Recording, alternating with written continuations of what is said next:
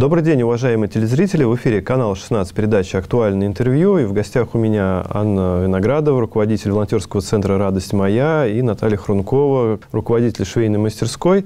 И сегодня мы поговорим немножко о помощи нашим воинам, в, э, участвующим в специальной военной операции.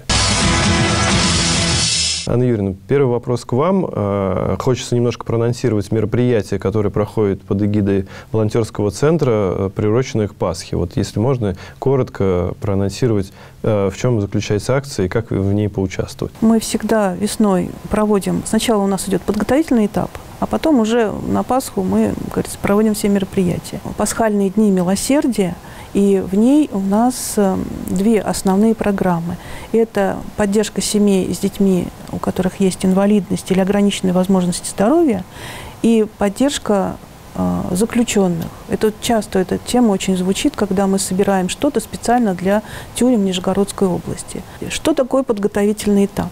Подготовительный этап – это всегда сбор тех средств, на которые мы будем проводить мероприятие. Угу. Это у нас домашние поздравления э, с детей с инвалидностью, праздник. Для них в этот раз мы постараемся все-таки сделать а, большой праздник, от которых отказывались мы в, в период пандемии.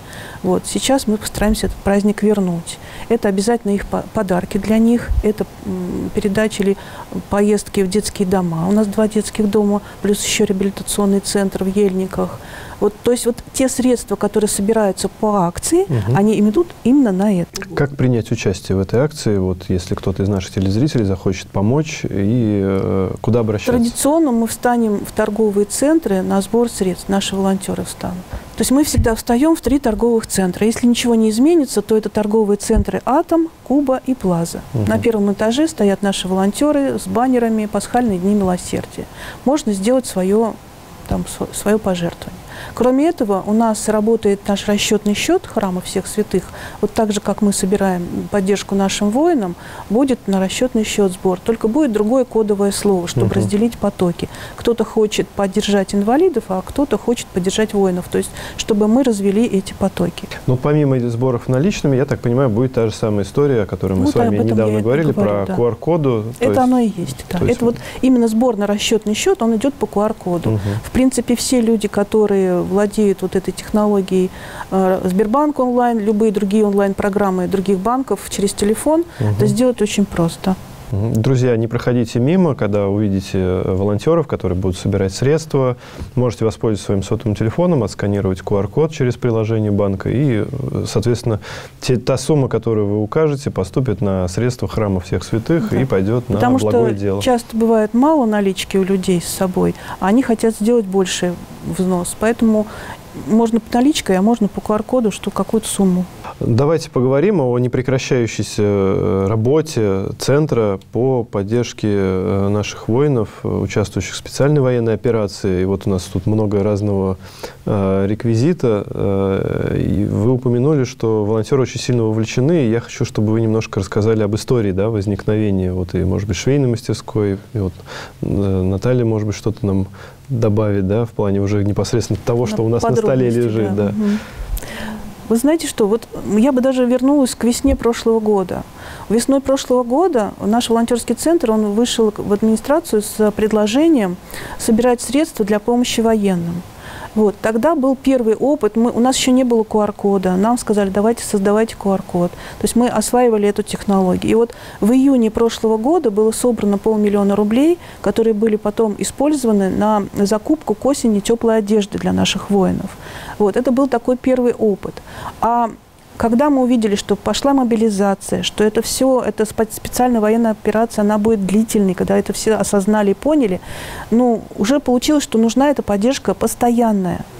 Вот. Именно тогда вот, э, вот у меня, как у руководителя волонтерского центра, ну, я вот искала, какое направление можно развивать, начинать. И мы познакомились тогда с движением «Золотые руки ангела», которое уже работало в Дивееве примерно два месяца на тот момент или даже три месяца. Мы поехали к ним в гости, узнали э, их опыт, написали об этом в своем православном Сарове. Это на сайте вышла информация, потом у нас, по-моему, две статьи вышло. И мы стали собирать тех женщин, пригласили, которые хотят у нас в Сарове этим заниматься. И вот как раз вот это дело тогда у нас и началось. И очень хорошо это получилось, потому что когда стали создавать швейную мастерскую, естественно, нужны были единовременные затраты. Вот сначала, когда начинаешь дело новое, да, кажется, ну вот все так просто, ну, у нас есть помещение, да, оно было, кстати, недоремонтировано, но об этом даже вот сначала в голову даже не приходило.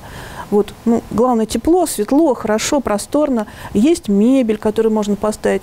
Мы даже думали, что мы будем использовать те старые бытовые машинки, но уже бывшие в употреблении, которые нам люди приносили. У нас их, ну, сколько-то штук там было. А когда познакомились ближе, когда уже вот вошли, стали входить в эту тему, а, мы увидели, что это все не так-то просто. И вот тогда как раз вот э, у нас после первой нашей э, сбора э, у нас вот всех, кто откликнулся на статью, плюс Наташа, она еще раньше ездила в Дивеево, мне ее телефон там дали. Вот. Они все пришли на это собрание, стали обсуждать, как и что.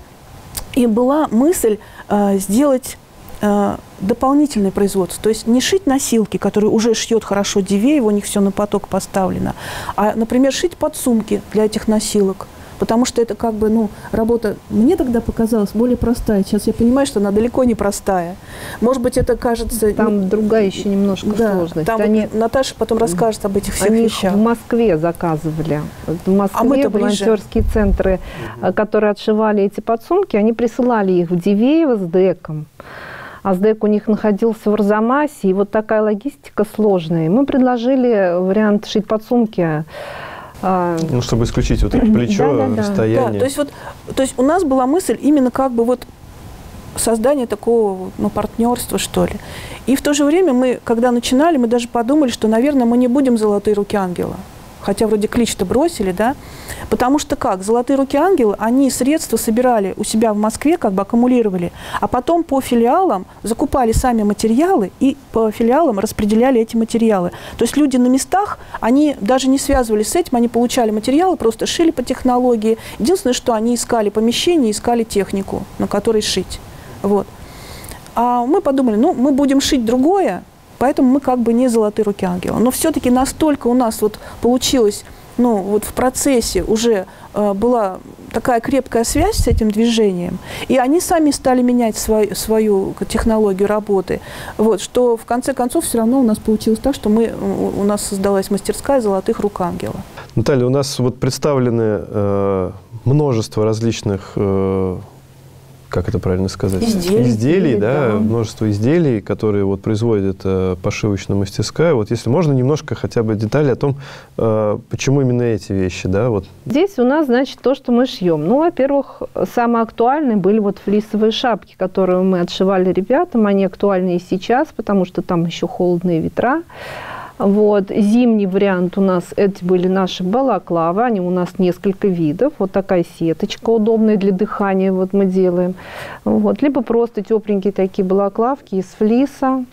Это все идет постоянно ребятам, это сохраняет их тепло, но и в то же время а, ну, постоянно кто видит ребят по телевизору или где-то, они всегда все находятся в балаклавах. Ну, да. Это их основные ходовые вещи. Самым основным, наверное, самым востребованным сейчас предметом использования или там изделия это являются вот пятиточечники, которые э, служат как для удобства сидения, так они раскладываются достаточно широко, на То них можно такой, лежать. Такой мат своеобразный, Да, лежанка. да, да. Вот он такой лежак, он больше метра раскладывается, туда может спокойно человек лечь и положить спальник, например, на него, да, либо если, например, у нас там ребята есть снайперы, есть э, ребята, которые находятся очень долго, охраняют объекты, можно и под ноги положить, чтобы ноги не мерзли. То есть функции разные. Есть вот Дивеева, золотые руки ангела отшивает вот такой, например, вариант. Он вообще небольшой, но тоже очень удобно. Здесь вот присел человек, спина, mm. все защищено. Всегда удобно, всегда можно его снять, разложить. Ну и новиночка вот наша сейчас, вот мы разработали наши девочки, волонтеры, вот такую жилеточку. Они теперь вот под куртку, под любую одежду военным. Очень удобно жилетки тем, что рукава, которые находятся в куртке, угу. они остав, ост, ну, остаются открытыми. И э, движение не сковывают. И а, когда будет уже более ну, жаркая погода, ну, можно будет его и на футболке, и на водолазке, то есть спокойно одевать. Это сохраняет тепло, там очень большие ветра, говорят. То есть модели пополняются. Модели вопрос. Пополняются. У меня э, вопрос по самой э, мастерской. Э, ведь это же труд не одного человека. То есть вот по этому вопросу, а сколько сейчас человек занято на этом производстве? Да, я... Вот. Знаете, у нас настолько вот разное количество людей приходит, мы порой Бывает, что вот человека три сидят, девочки работают, да, порой посадить даже некуда. Но работа все равно находится всем. Вот. Э, Анна Юрьевна предоставила нам помещение, и в помещении там три комнаты. Одна комната у нас служит для как бы склада материалов а, для раскроя что-то из ситца, а, изделия вот медицинские трусы, пеленки, косынки медицинские краятся, просто трусы военным краем. Это вот э, такой отдельный у нас склад. И те, которые не умеют шить, они, в принципе, очень хорошо помогают там, потому что разложить вещи, погладить эти ткани, которые люди принесли, нам очень много принесли ткани вообще. Люди, не умеющие шить, могут принять участие, оказать помощь, э, хотя бы просто гладить, хотя бы просто кроить, потому что начертить по образцу это вообще достаточно легко. Ну вот помимо изделий, да, вот я вижу у вас множество открыток, и, э, может быть, поподробнее, я так понимаю, что это какое-то детское творчество. Э, да, это нам передали. На 23 февраля. Ну, открыток нам э, и писем приносят очень много, очень разные организации, школы подключились активно. Сначала мы просили, родителей э, и детей, чтобы нам писали, а потом вдруг вот э, все включились и все поняли важность этих писем, особенно когда стали по, а, по телевизору, в новостях, в передачах показывать, как военные читают, плачут эти угу. письма, как их трогают детские слова. И люди стали, сначала, сначала были простенькие письма, а сейчас уже вот смотрите, какая красота вот у нас идет, да, вот тишки делают, здесь вот послание, дорогие наши защитники, поздравляем вас. Радмир, вот садик, номер 8, 8 Саров, мальчик написал. Или вот такая вот красота, вот оформлена, да, замечательно, просто я считаю. А вот тут вот вообще необычные такое послание. С шоколадкой. С шоколадкой. Сладкий подарок для военного. Мы все это обязательно передадим ребятам. И вот как раз хотелось бы, да, в завершении передачи поговорить э, о том, а как же это все доставляется туда, да, как это все попадает э, к э, нашим воинам и как это все организовано. Можно я тут немножечко скажу? Да. да. Вот смотрите, у нас еще осенью параллельно с мастерской по просьбе администрации был создан общегородской пункт сбора помощи для военных. Вот на нем очень много аккумулируется всего. И в том числе как бы и то, что делает швейная мастерская – вот. Кстати, в вашем движении «Золотые руки ангел» еще делаются окопные свечи, тоже угу. это большая доля посылок. А в окопные свечи там вкладываются и шерстяные носочки, и просто шерстяные носки. Кстати, в городе было отвязано уже порядка двух тысяч пар. А, я даже думаю, больше, наверное. Больше, Просто да. не все через нас проходит. Вот шерстяных носок. Очень много женщин прям активно вязали. И из той шерсти, которую покупали сами, и той, которую мы выдавали нам в НЕВ, помогли, помогли приобрести шерсть. И люди принесли очень много клубочков, какое только что дома было. И вот из этого всего э, отвязывались шерстяные носки. То есть вот все это вкладывалось. Но как это отправляется? Вот тут, конечно, опыт ведь ни у кого никогда угу, не было. Угу. Например, вот на второй пункт сбора Шверника 11, а, они отправляют на Нижний Новгород – через Дом народного единства, это организованное э, губернатором нашим движение, да, и там уже логистику отвечают они там в Нижнем Новгороде, смотрят, что, куда и как. Определенные позиции просто со всех мест собирают и там уже отправляют. У нас здесь немножечко по-другому. У нас вот именно опыт таких, сказать, как сказать, отправок от инициативных групп – в городе есть инициативные группы неравнодушных людей, которые сами хотели вот помочь воинам и собирали э, машины, отправляли. И мы присоединялись к этим отправкам тоже. То есть в эти отправки дополняли что-то свое. То есть буквально вот идет машина на Мелгородскую область, очень много туда собирает, э, например, работники в НЕФ, просто люди, услышавшие об этом. И плюс еще с нашего склада туда что-то дается. Кроме того, есть еще, может быть, такие не глобальные отправки, это когда к нам приходят добровольцы. И сначала мобилизованные, но мы захватили хвостик, конец мобилизации, а дальше уже пошли добровольцы. То есть военкомат их на, к нам направляет. И мы стараемся им дать все, что у нас вот только есть, что им может пригодиться. И ребята, конечно, уходят довольны, они чувствуют нашу поддержку. Расскажи поподробнее. Да, они приходят от военкоматов очень много. Спасибо, что направляет военкомат. И ребята даже многие не знают, что мы можем оказать достаточно посильную помощь им. А, получают медикаменты, то, что люди передают, получают эм, продукты, если им нужно, да, из одежды, носки, даже вот э, нижнее белье, которое, теплое белье. теплое белье, да. Они сами могут посмотреть, что им нужно. Те же самые балаклавы, пятиточники, жилетки, стропы, носилки. А, все, что нужно, мы все им выдаем и собираем. И они уходят достаточно в таком хорошем, бодром состоянии, расположении духа. Обнимаем каждого, каждого желаем теплые напутственные слова. И обязательно передаем вот эти письма им с собой, потому что они едут уже туда, где ребята долго уже находятся в боевых э, вот этих вот э, действиях. И вот эти вот маленькие весточки от наших э, детей и от наших взрослых даже бывает, женщины пишут, как мамы, вот, ну, может быть, э, вот про, про отправку, я знаю, была история, э, связанная буквально со срочным сбором э, необходимых оборудования. Я бы хотел, чтобы наши телезрители они узнали. Да, это был вот э, самый ближайший сбор, самая ближайшая отправка 10 февраля она состоялась. Здесь она состоялась посредством сбора внеевских сотрудников. Там есть на постоянной основе регулярно собирается помощь для военных. А потом подключились мы. А, потому что я позвонила организаторам и говорю, мы готовы присоединиться, что нам нужно сделать, какая помощь нужна. Вся наша продукция, все, что мы делаем, все, что собрано нашими людьми, с большими сердцами, с теплыми горячими душами, спасибо вам огромное, все было передано вот туда волонтерам и непосредственно будет доставлено ребятам на передовую, именно в руки, именно тем, которым очень нужно, которые нуждаются.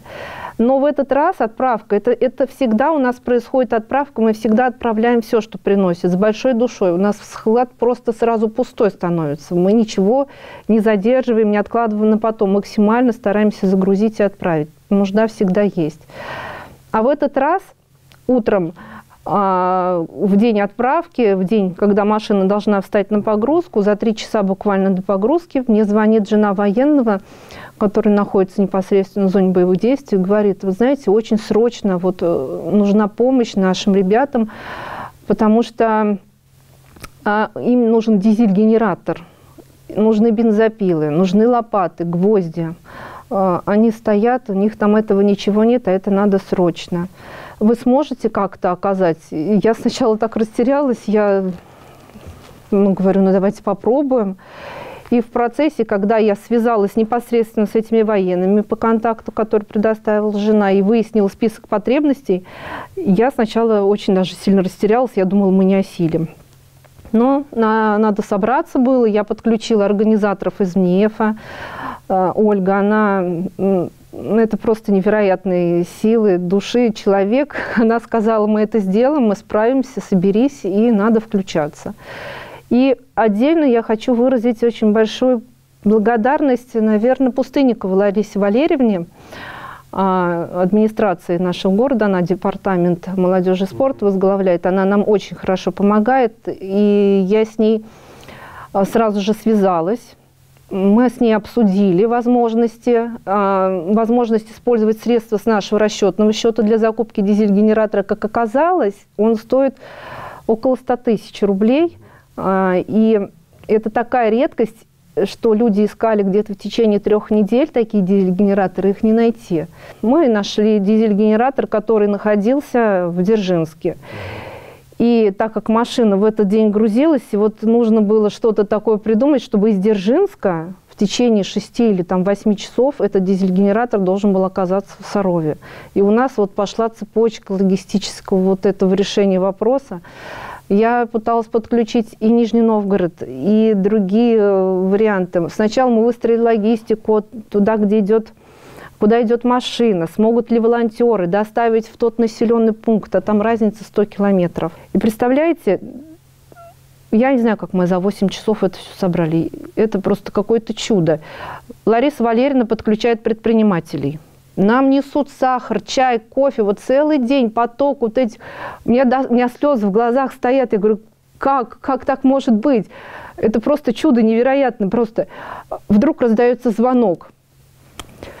Звонит директор Саровского хозяина. Он нам очень хорошо помогает, э, Денис Александрович, и говорит, у меня сейчас машина находится в Нижнем Новгороде, тебе что нужно привезти? Я говорю, Денис Александрович, я говорю, ради бога, если сможете, в Дзержинске находится генератор. И у нас, знаете, какой момент, если сейчас кто-то из всей Нижегородской области вдруг положит его к себе в корзину, ну, это наход, находился в ДНС, то все. Этот генератор станет в резерв, и нам его просто не отгрузят. Угу. Вот, то есть у нас прям вот ну, чудо, если мы сможем его отхватить. Он отправляет своего водителя, он успевает, он выкупает нам этот генератор за свои средства, а потом уже мы с нашего расчетного счета уже э, смогли эти деньги ему вернуть. И в течение дня этот генератор приезжает в Саров. В течение дня закрываются все, весь список потребностей. Я прихожу э, в ордер, там случайно просто в этот момент был директор ну, этого ордера. Он уже куда-то убегал. я говорю, девочки, подскажите, пожалуйста, как можно к руководству? А, а вот он. Я говорю, сделайте, пожалуйста, скидку ребятам, потому что все-таки мы средства граждан как-то используем все. Он, вот это я вам так отдаю, вот тут вам скидка, берите, что нужно, вот это, вот это, все. С хорошей скидкой продал. Звоним э, в камуфляж. Мы нигде не могли найти спальников. Ребятам нужно было спальников много, потому что потребность им спать не на чем. Звоним, э, находим в, камуф, вот, в магазинах камуфляж Людмиле. Пожалуйста, скидка, все покупайте сколько нужно, то есть хорошая скидка отдает нам спальники для ребят теплые, до минус там 10 или 15 градусов, то есть как раз сейчас там такая температура. Вот. И, еще одна организация «Колоксон» звонит, мы готовы оплатить эти спальники. Вы понимаете? А у меня вот просто вот это чудо, вот когда вот так по цепочке все предприниматели, люди, граждане, когда вот просто сами звонят, у меня разрывался телефон. Я с 8 утра до часу просто я не могла встать, я бесконечно разговаривала с людьми по телефону, я познакомилась с такими людьми, с такими неравнодушными, с такими активными. Ну, и получается, все включились, это просто, я бы назвала это чудо, это отправки, что мы машину загрузили настолько, я за каждую коробку просто водителя умолял, говорю, возьмите еще, ну, пожалуйста, может быть, сверху, ну, может быть, как-то, потому что она уходила у нас просто битком. И когда ребята получили это все, они прислали нам видео приветы, благодарности. Э, мы готовы вас, девчонки, расцеловать, вы сделали что-то невероятное. Мы все время говорили, что это... А, а кстати, отправка-то шла нашим саровским, нашим нижегородским ребятам. Там стоят Мулины, там стоят нижегородцы, саровцы, и именно саровчане. И именно туда и ушла вот эта вся помощь. Именно они и получили вот эту вот всю нашу гражданскую любовь и нашу вот эту поддержку и помощь. Ну, вот такая у нас волшебная ситуация произошла в этот раз. В завершение, наверное, нужно озвучить, э, куда нужно обращаться, если вы желаете помочь, если люди хотят вам помочь. Наверное, ну, традиционно, наверное, на сайте Православный Саров все есть контакты. Ну, там, да, это есть. У нас висит объявление и про расчетный счет, и если пасхальные дни милосердия, то тоже скоро вывесим объявление. Ну и плюс ВКонтакте в нашей группе «Радость моя». Вот все, что касается отправок там вот со склада вот этого сбора помощи, да, то это больше на нашей группе. Кстати, я хочу сказать, вот мне многие люди задают вопрос, а мол, что, вы, а вы теперь только военным собираете? Я говорю, нет. Поэтому нам можно по-прежнему приносить и помощь, которая для мирных то есть наших малообеспеченных людей, которые там какие-то ну, сложные обстоятельства попали, погорельцы или еще кто-то. Мы берем любую помощь от детей до взрослых, вот любая одежда, обувь, предметы быта и так далее. То есть обычная наша деятельность Центра милосердия, гуманитарного склада, она тоже продолжается. продолжается. Да. Ну что же, спасибо большое, что пришли, рассказали о деятельности ваших волонтерских, по сути, организаций. Я желаю вам удачи. Друзья, на этом у нас все. Спасибо, что были с нами. Приходите в волонтерский центр, ищите информацию о том, как помочь нашим э, военным и как этот сбор организован у нас в Сарове. Ну и мы с вами увидимся через неделю. До свидания.